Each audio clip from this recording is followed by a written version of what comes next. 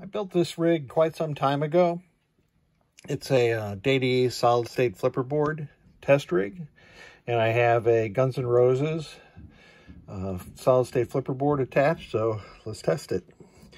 First, I'll show you the LEDs working. You can see those working. And next, I'll show you the actual flipper working. And that takes care of that. So this board is good to go.